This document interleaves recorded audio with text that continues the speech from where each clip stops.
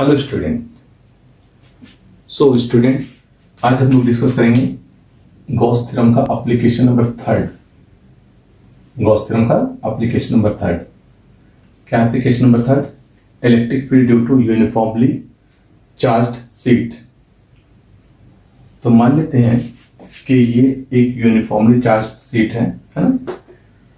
और इसी charge sheet के कारण हमें किसी पॉइंट पर फ़ील्ड फाइंड आउट करना है।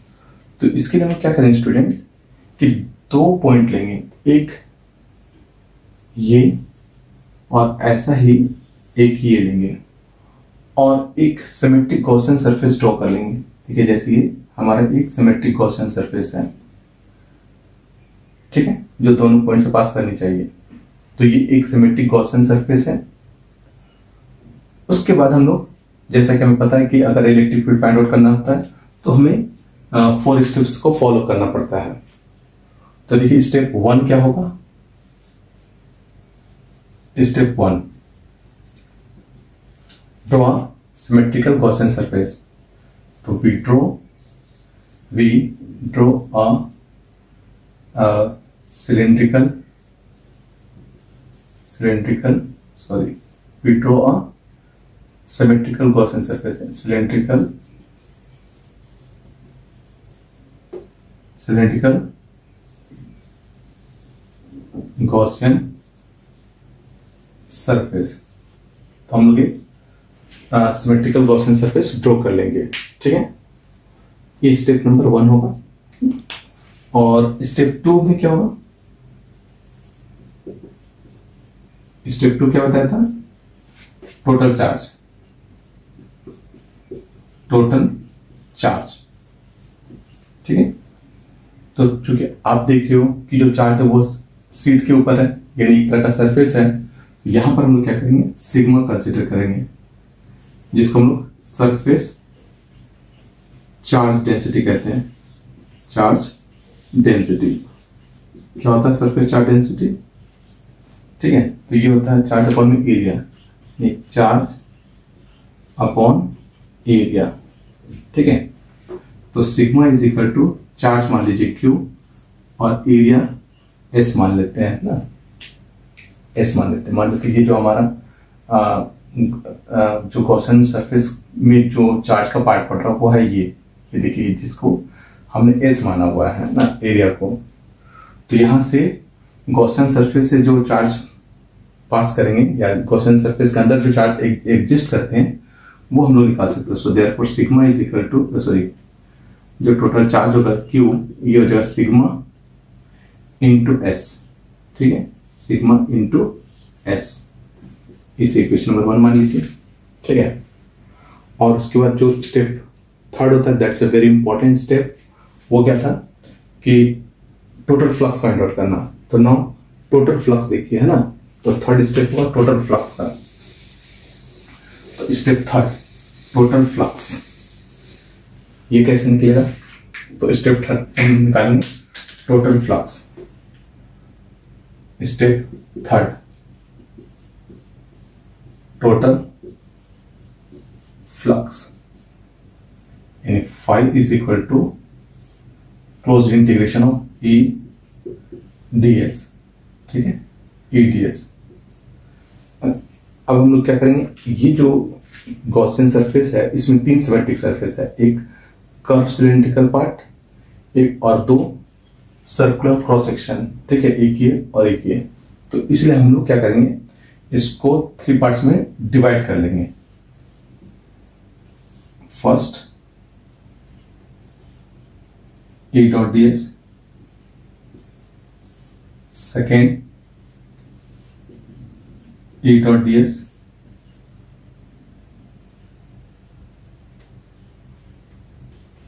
a third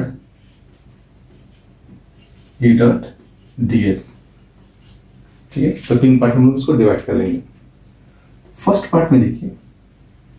फ़र्स्ट पार्ट में होगा E D S R dot n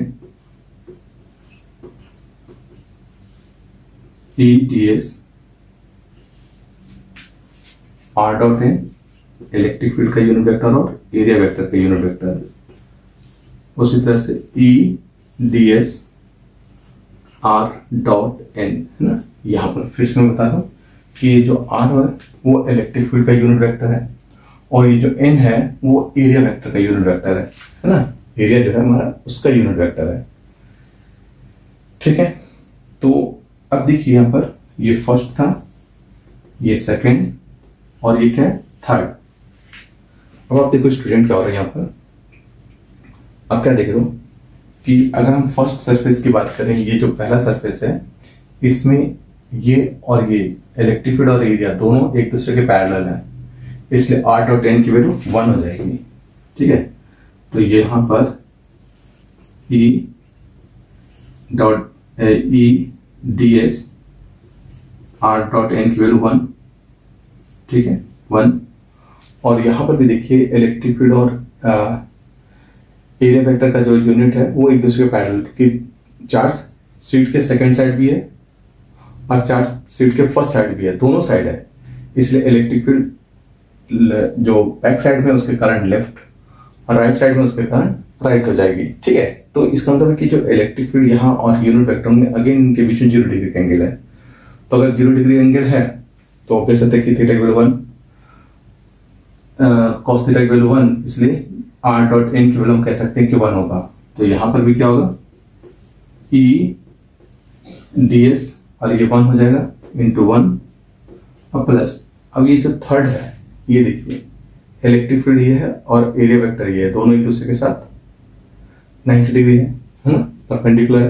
क्योंकि इलेक्ट्रिक फ़ील्ड तो चार्ज सीट के ऊपर डिपेंड करता है तो चार्ज सीट के ऊपर जो चार्ज की डायरेक्शन है उसके अकॉर्डिंग तो ये लेफ़्ट साइड ही होगा। तो यहाँ पर आर डॉट एन की जो वैल्यू होगी वो वन ज़ीरो हो जाएगी क्योंकि 90 डिग्री है तो डॉट प्रोडक्ट ज़ीरो तो यहाँ पर हो जाएगा ज़ीरो ज़ीरो हो जाएँगे, है ना? तो फाइनली क्या बने बताइए यहाँ पर? ई बाहर। और इस डीएस का इंटीग्रेशन कर लो, ये फ़र्स्ट ये सेकेंड थर्ड की वैल्यू तो ज़ीरो है। तो डीएस का जो इंटीग्रेशन होगा तो यहाँ पर डीएस ये पूरा एरिया बने और ये पूरा एरिया इस एस के इक्वल है। तो यहाँ पर एस हो जाएगा। फिर से देखिए डीएस इस पूरा का एरिया है ना? ये सर्कुलर का एरिया वो सर्कुलर एरिया हमने एस मान रखा है। तो ई इंटू एस अब प्लस ई इंटू एस इसके लिए भी, है ना? इसके लिए भी एस और इसके लिए भी एस तो ये हो जाएगा आपका two E S two E S right इससे क्या होगा? देखिए इससे आपका जो टोटल फ्लक्स है वो आ जाएगा that is equation number two ये फाइव की वैल्यू हो गई, है ना? तो फाइव की वैल्यू ई इंटू जब हम टोटल फ्लक्स निकाल दैट इज़ फाइव तो ये जो फाइव है वो टू ई एस हुआ, है two E S now step four क्या है? गॉसन सरफेस है ना? Gauss's theorem using Gauss's theorem जो कहता है कि फाइव किसके इक्वल होगा? क्यू बाय एप्सल नॉट तो इस फाइव का वैल्यू हुआ two E S two E into S इस क्यू का वैल्यू हुआ sigma into S upon epsilon naught तो इस एस से इस एस को कैंसिल कर देंगे। ठीक है? तो क्या मैंने बताइए तो यहाँ पर ई की वैल्यू आ जाएगा हमारे पास sigma upon two epsilon naught two epsilon naught ये आया। ठीक है? तो ये इलेक्ट्रिक फ़ील्ड हुआ। तो देखिए सिग्मा भी कांस्टेंट एप्सिलॉन नॉट भी कांस्टेंट इसका मतलब ये पूरा पार्ट कांस्टेंट होगा यानी ये जो इलेक्ट्रिक फ़ील्ड है, वो डिस्टेंस के ऊपर डिपेंड करती। देखिए, यहाँ पर डिस्टेंस नहीं है है ना? तो ये डिस्टेंस के ऊपर डिपेंड नहीं करती है। तो अगर कोई, अगर ग्राफ आ जाए, ठीक है? तो हम लोग ग्राफ किस तरह दिखाएँगे? ठीक है